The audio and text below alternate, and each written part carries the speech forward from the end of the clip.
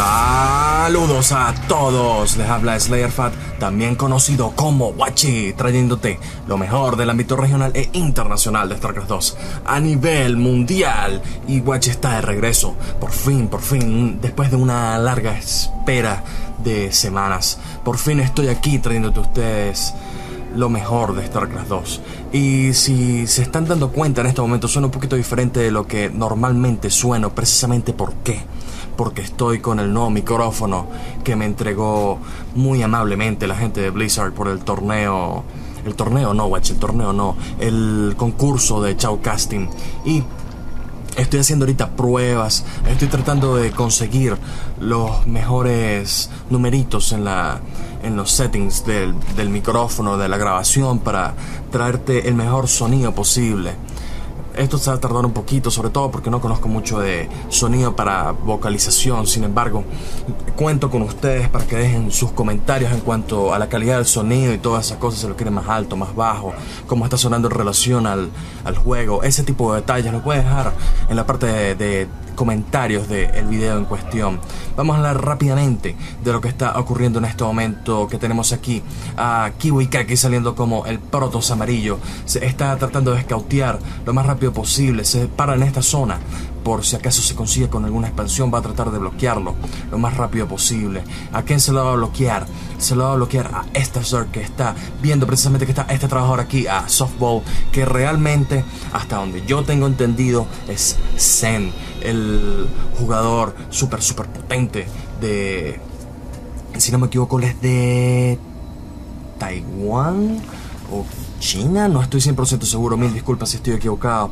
Eh, como tuvo un tiempo sin, sin computadora, sin la PC, eh, me salí un poco de la, del hábito de, de, StarCraft en general.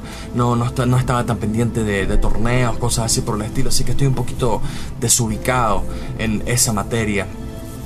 Sin embargo, voy a tratar lo más rápido posible de recuperar ese tiempo perdido para ustedes, porque ustedes precisamente se lo merecen.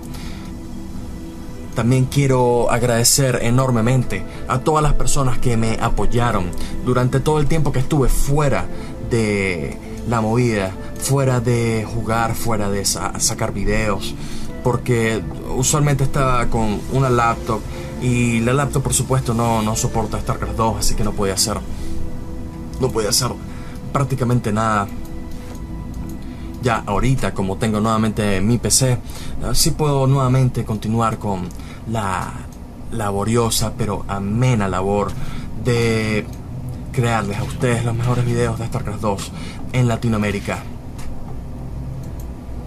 Este perrito está tratando de destruir al trabajador, pero el trabajador es más rápido por los momentos porque precisamente no tiene la evolución, los Organs. Y hablando de evolución, muy interesante, ¿será que acá? No, ni siquiera, ni siquiera la ha empezado a investigar, interesante, debe ser porque ahorita es que está empezando a hacer el extractor, empezando a minar gas.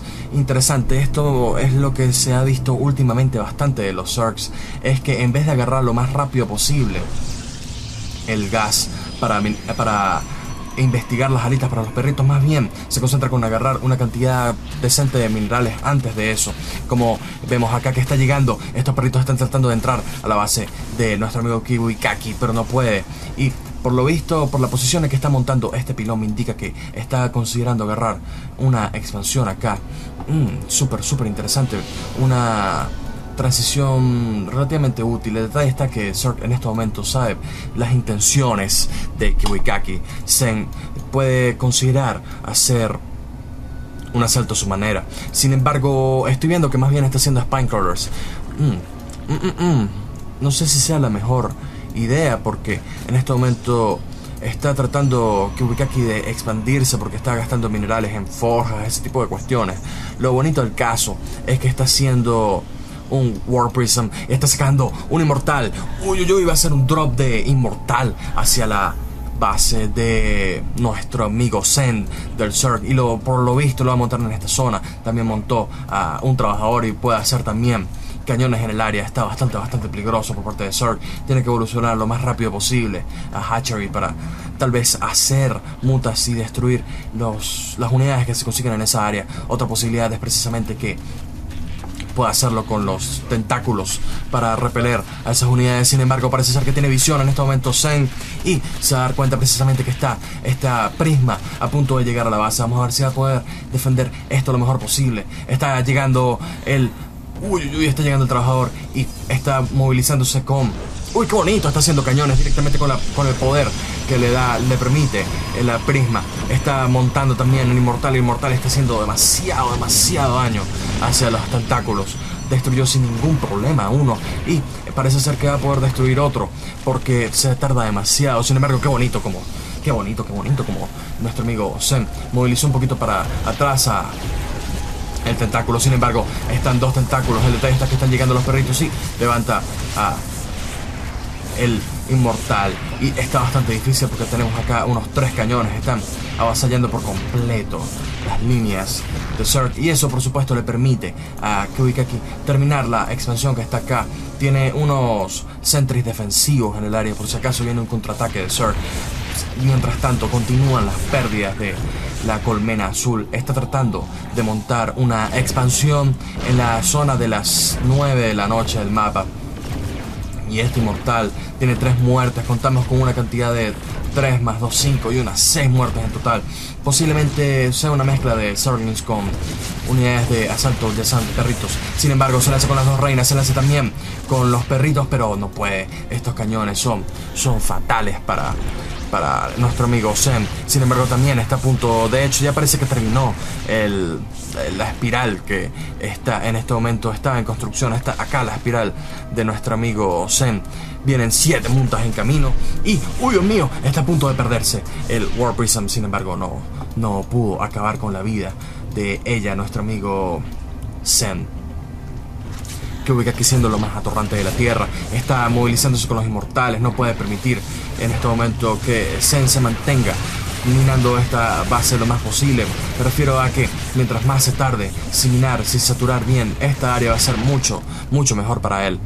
Está que están llegando las mutas, pero las mutas, uy, qué bonito, pudieron snipear sin ningún problema al inmortal. Y el inmortal fue fundamental para la defensa de los cañones. Ahora bien, el detalle está que nuestro amigo Zen todavía tiene esos cañones ahí. Viene, va a venir posiblemente el contraataque de Zerg a su vez que está llegando también una saturación poco a poco de la tercera base que tiene en este momento. Mientras se mantenga haciendo el daño que requiere va a ser bastante difícil. Vemos que está el observador viendo todo lo que se encuentra en la zona. Está el primer Fénix, pero un Fénix no es suficiente contra toda esta cantidad de mutas. Y sin ningún problema parece ser que va a poder destruirlo. No, se prendió un muta. El detalle está que está prácticamente indefenso por ahora que ubica aquí porque tiene una sola base en esta área.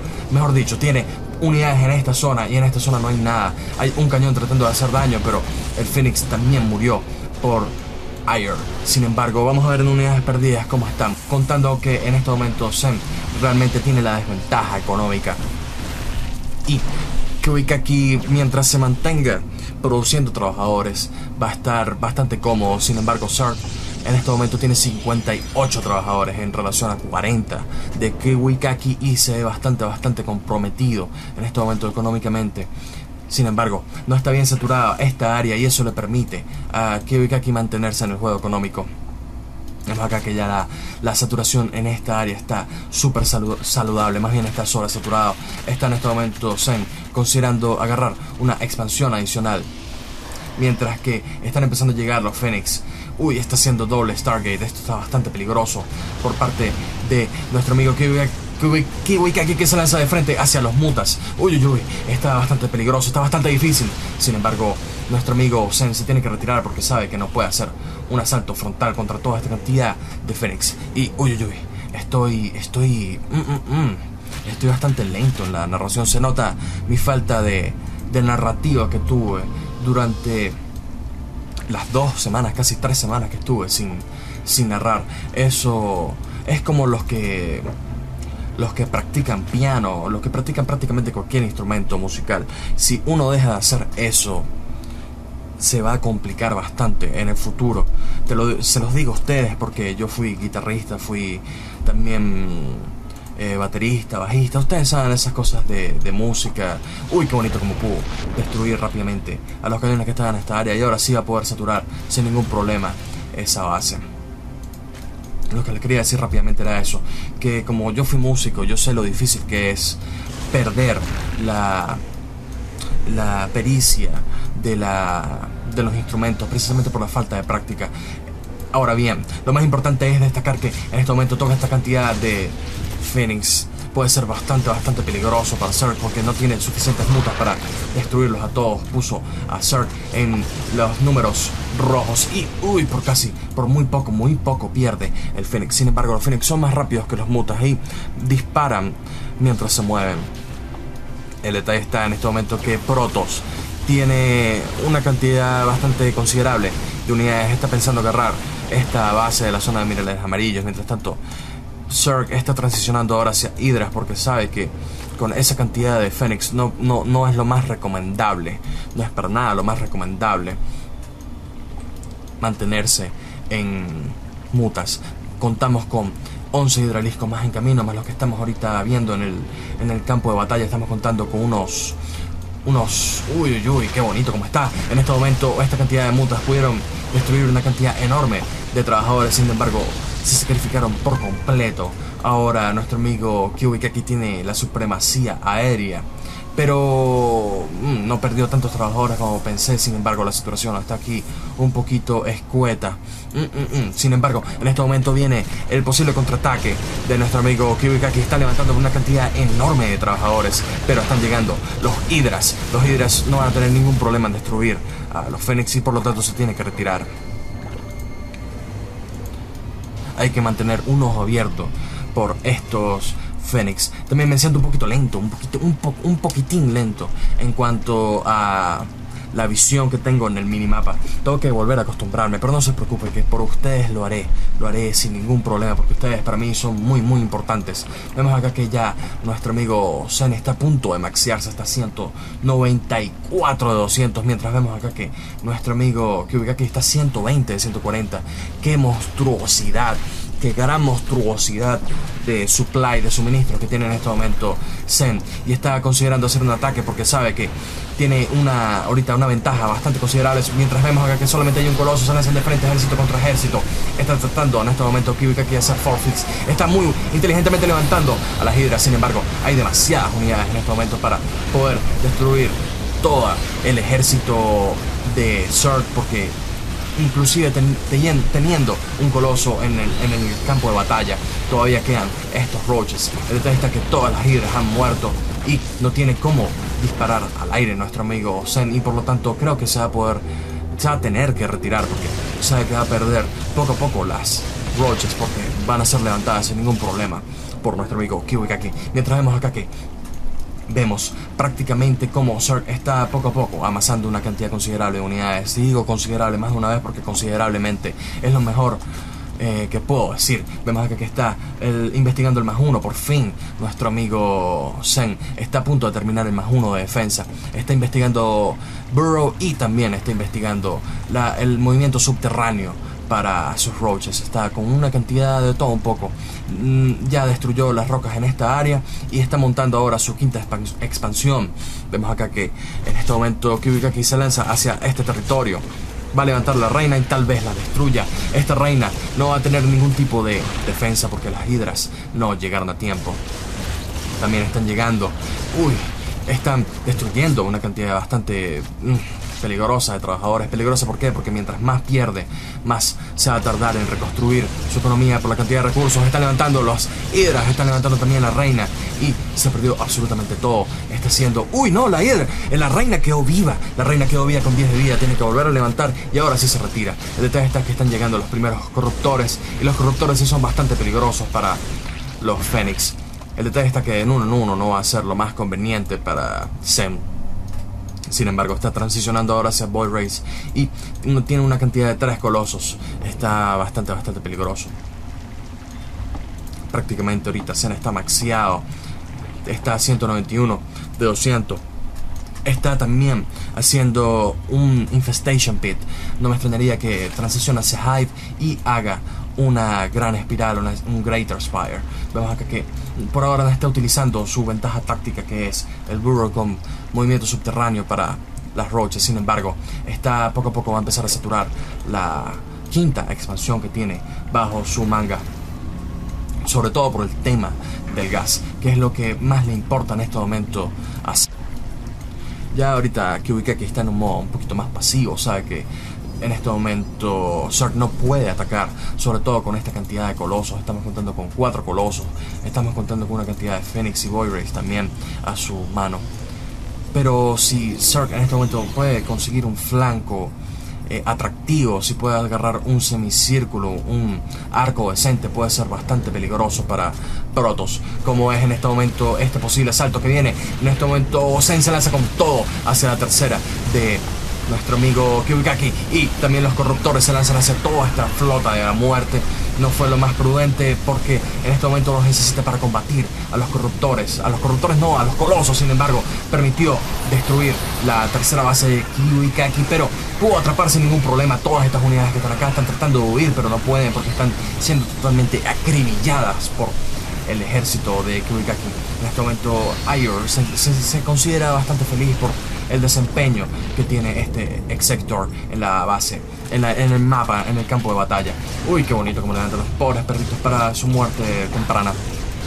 Pero ahora, el detalle está que en este momento Zen tiene que reconstruir lo más rápido posible su ejército. Tiene una cantidad enorme de corruptores y está ahora haciendo también roaches, está haciendo de todo un poco porque sabe que no puede perder la victoria aérea ese combate aéreo que está a punto de llegar sabe que es muy importante porque si estos Rays se mantienen vivos van a destruir absolutamente todo, sobre todo cuando están cargados, se lanzan de frente los ejércitos. El detalle está que, uy, los corruptores están destruyendo todos los colosos, todos los Warriors que están en la parte trasera. El detalle está también que este flanco fue destruido por completo por los colosos. Sin embargo, esta cantidad de corruptores van a poder destruir, por considero yo que van a poder destruir sin ningún problema las unidades que están en el área solamente quedan los Stalkers que están eh, vivos y en este momento se lanzan los Roaches. Los Roaches están tratando de hacer daño. Está tratando también Zen de hacerle la habilidad especial a los a los Stalkers que se llama corrupción, que le aumenta el daño en un 20%. Está bastante, bastante difícil para nuestro amigo Kukaki que acaba de perder una expansión acá y perdió casi todo su ejército en, la, en el área la base de Zerg, en el área de Zerg. Sin embargo, está esta base poco a poco saturándose, pero se da cuenta nuestro amigo Zen que se consigue esa base tan jugosa y va a tratar de destruirla lo más rápido posible. El detalle está que las fuerzas de nuestro amigo Kyugaki están siendo reconstruidas. Pero, uy Dios mío, se perdió por completo, se perdió por completo esa base tan importante para Kyugaki. Y escuchan de fondo a uno de mis perros, un saludo a mis perros, un saludo muy especial. Mientras vemos acá que nuestro amigo Zen está perdiendo las roaches. Se está perdiendo porque no tiene los números necesarios para destruir lo que se, encontraba en el área. Vemos acá que ya tiene una cantidad decente de unidades acá. Y no me extrañaría que empiece a ser Broodlords, porque los Broodlords, cuando termine el Greater Spire, va a ser bastante, bastante peligroso. También está investigando el más 3 de ataque y defensa para sus unidades. Las hidras y los roaches se van a beneficiar enormemente por eso. Y los perros siguen ladrando. Déjenle ladrar, perros. Uf, no me escuchan, siguen haciéndolo. No importa, no importa. Vemos acá que ya Kiwikaki tiene una saturación más bien excesiva en esta área. Lo importante es que tiene que reconstruir esto lo más rápido posible porque sabe que esta base se está minando y esta base está por completo minada. Así que Zerg tiene ahorita una ventaja total en cuanto a economía y yo considero también en cuanto a composición de sus unidades militares. ¿Por qué? Porque en este momento tiene Roaches y tiene Hydras, también vienen los Lords y va a ser bastante difícil para por poder destruir ese ejército. Sin embargo, está agarrando Overlords libres que se encuentran en, la, en, la, en el mapa. Estamos ya viendo que en este momento Zerg está en rojo, está en 194 con 170 está reconstruyendo 6 Overlords y está haciendo ahora más corruptores en camino. Vamos a ver con qué contamos. Contamos con 7, 7 Broodlords, 22 Roaches, 11 Hydras contra 5 Void Raids, 2 Colosos, 9 Stalkers, 9 Sentries. Los Sentries van a ser bastante, eh, bastante útiles para la defensa terrestre porque puede dividir las fuerzas bastante bien. Sin embargo, el problema crítico son precisamente estos Broodlords que ya tienen más 2 de ataque aéreo. Mm, mm, mm. Está súper, súper difícil. Está tratando de hacer un flanco en este momento. Se hace con todo. Que ubica aquí. Trata de destruir las unidades. Sin embargo, las fuerzas de Zerg se amasan completamente. Están colosos, están brutos, están corruptores. Están destruyendo unos a otros. Está haciendo corrupción a los Boyreds que son... uy, qué bonito como hace se va del juego porque sabe que no podía, no podía defenderse de este ataque tan, tan destructivo. Y ahí lo tienen. El primer juego que les narro a ustedes por más de dos semanas. Eh, como les dije al principio, dejen sus comentarios en relación al volumen del micrófono, la calidad de sonido, todo ese tipo de cuestiones para ver si más adelante se los puedo acomodar. También está un poquito lento, pero no se preocupen que voy a mejorar esto lo más rápido posible porque, bueno, ya ustedes saben cómo es el asunto. Así que por el momento no queda más nada que decir. Así que yo me retiro. Este ha sido Slayer Fat. Hasta la próxima.